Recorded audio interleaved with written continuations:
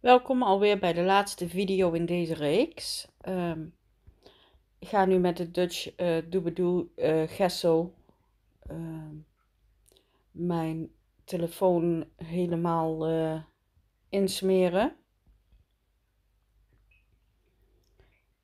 En dat doe ik gewoon aan beide kanten.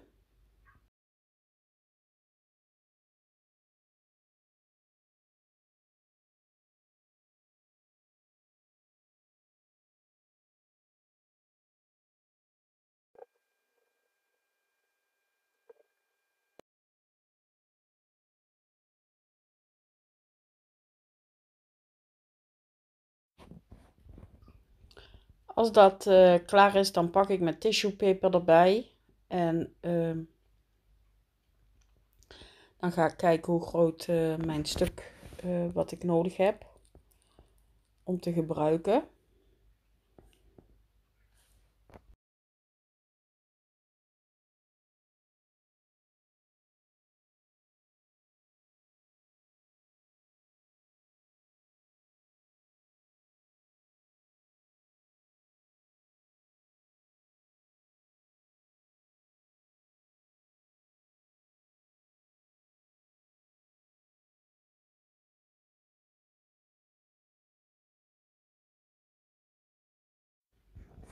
Als dat uh, klaar is, dan uh, pak ik mijn, uh, mijn stencil erbij, mijn Retro Pattern Square. En ga ik met groene verf over het gehele stencil heen. En ik, verf, ik dab de verf er gewoon op, niet te dik, want anders ga je door het papier heen, want tissue paper zelf is gewoon heel dun. Maar ik ga gewoon over het, uh, over het gehele papier heen.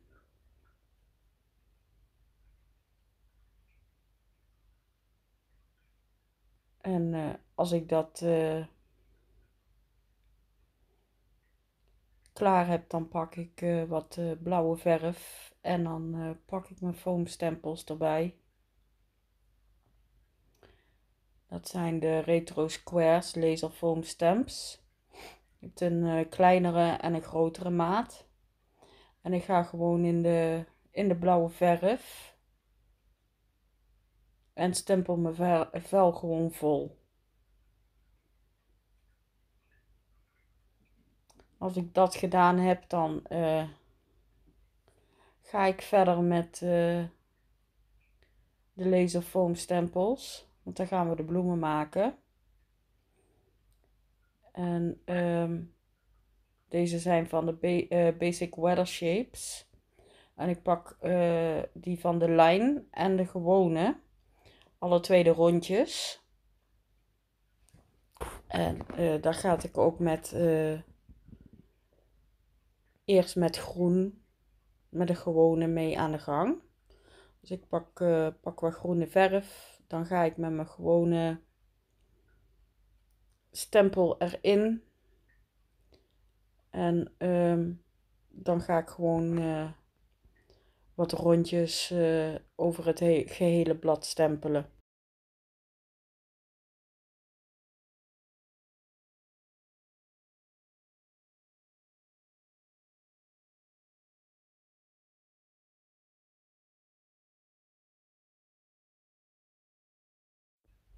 Als ik dan uh, eenmaal uh, met groen overal de rondjes heb gezet, dan, uh, dan pak ik die, de rondje met de lines en ga ik in de blauwe verf en stempel ik random over het gehele blad heen. En dat maakt niet uit hoeveel keer je dat doet.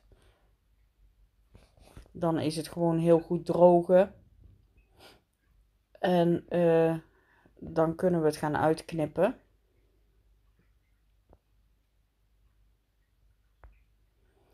En uh, ik knip gewoon om het, uh, om het groene heen.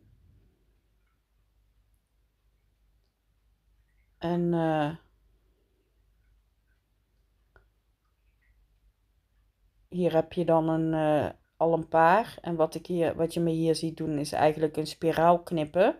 En dan laat ik in het midden een rondje over, zodat straks als, als ik alles oprol, daar ook kan plakken. Ik maak het, uh, ik rol het gewoon dus, die spiraal rol ik op totdat ik uh, een hele bloem heb uh, gerold. En dan plak ik het straks vast met hot glue. Met een lijmpistool.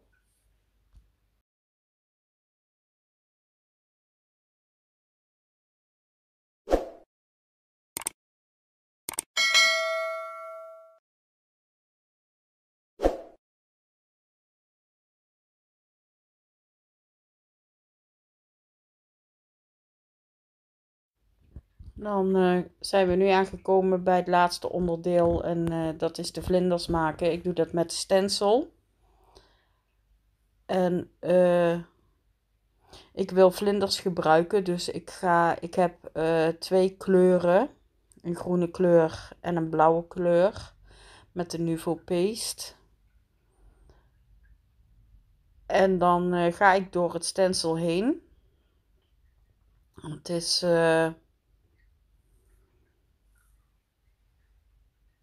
insect uh, stencil is het.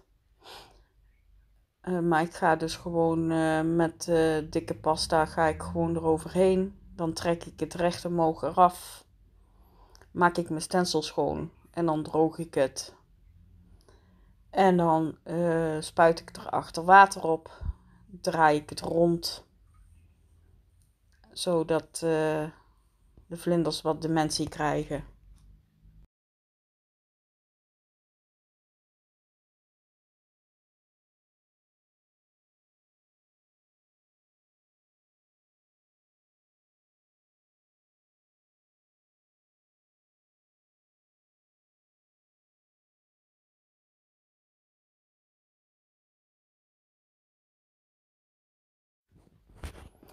En dan zijn we eindelijk uh, aangekomen bij het laatste gedeelte. En dat is uh, versieren van, uh, van mijn telefoon.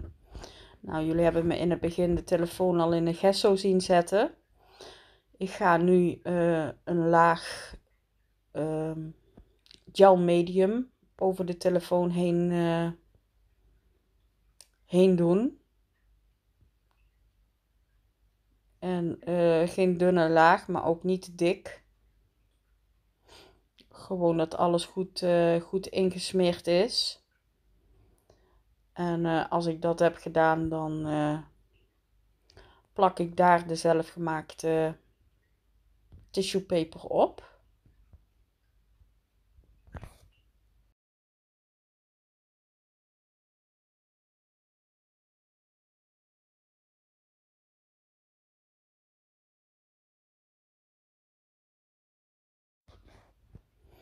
Nou, hier ben ik het aan het, uh, aan het vastdrukken. En uh, dan ga ik er weer met uh, dezelfde medium, mat medium, ga ik er overheen eh, om het te sielen. Dus je moet en de onderkant, dat het papier blijft plakken, maar de bovenkant om te sielen en het doorzichtig te maken. En het geeft niks als je, net zoals hier bij mij ziet, uh, dat er uh, stukjes uh, niet goed zitten, want je kan er gewoon overheen plakken. Valt toch niet op. En dan plak je het gewoon met de mat medium weer vast.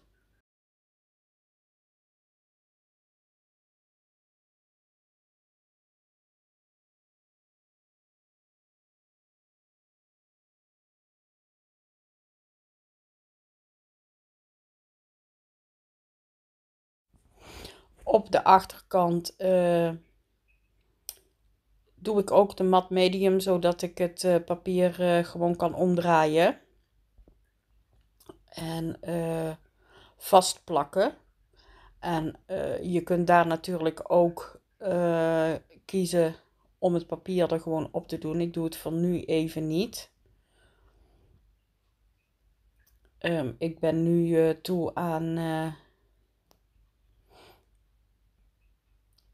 weer mijn stencil te gebruiken. En ik ga dat uh, met de Dutch Doobadoo um, modeling paste. Dus de structuurpasta. En uh, de zwarte gesso ga ik dat doen. Ik ga eerst uh, met de zwarte gesso werken. Ik pak weer het insect stencil erbij. En dan ga ik met de zwarte gesso gewoon mijn vlinders random eroverheen doen. Dan droog ik het en dan ga ik er met de structuurpasta weer overheen. Ook op verschillende plekken zodat je wat meer structuur over de hele telefoon krijgt.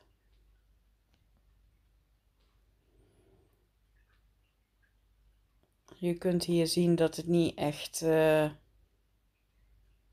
heel dik erop hoeft te zitten. Het is maar gewoon dat je het ziet en een extra structuurlaag uh, hebt. Nou, en uh, als ik dat klaar heb, dan wil ik mijn bloemen erop gaan plakken. En dat doe ik dus gewoon aan de onderkant. Een dotje lijm van, van de lijmpistool weer, van de hot glue.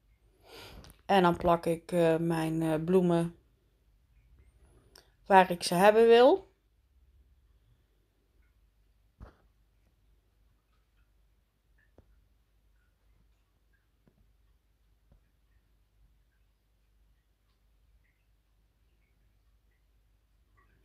En dan pak ik uh, de vlinders er ook bij. De vlinders kun je natuurlijk nog, nog bijkleuren met aquarel of met inkt of met verf.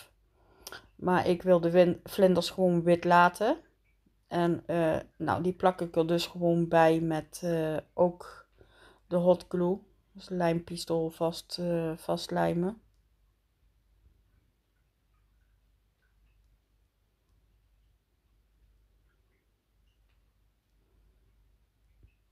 En eigenlijk wil ik dan ook nog, want dit is de lichtblauwe kleur. Ik ga nog wat, uh, wat bloemetjes erbij plakken in het midden. Dat ik dat zelf wel leuk vind. En dan uh, kies ik er ook nog voor om een, een vlinder erbij te plakken. En dan kies ik voor de groene kleur, niet voor de blauwe kleur. En die plak ik boven ergens vast.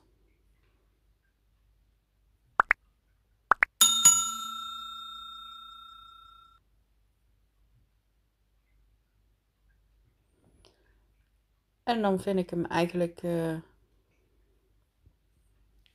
klaar.